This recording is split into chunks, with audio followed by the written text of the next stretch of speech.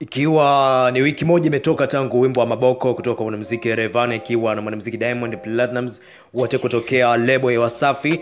Uh, nyota ya chui inaendelea kung'aa kimataifa baada ya ngoma yake ya maboko aliyomshirikisha Diamond kushika namba moja kwenye mtandao mkubwa wa kuuza nyimbo duniani wa Apple Music, na picha yake pia imewekwa katika cover ya playlist kubwa ya muziki barani Afrika ambayo inafahamika kama Africa Now, na Apple amekuwa na utaratibu wa kuweka cover za mastamba ngoma zao zinaongoza kwa mauzo katika mtandao huo kwenye playlist mbalimbali.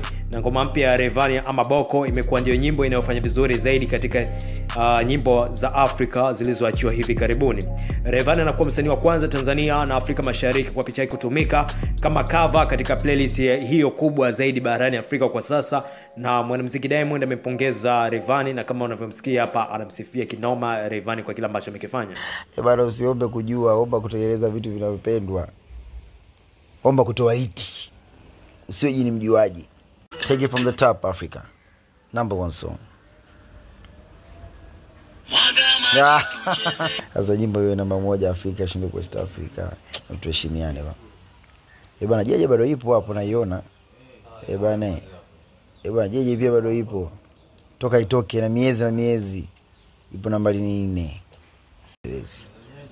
Goma Afrika zima, dunia zima, kama hivyo iTunes wenyewe wanasema, you know.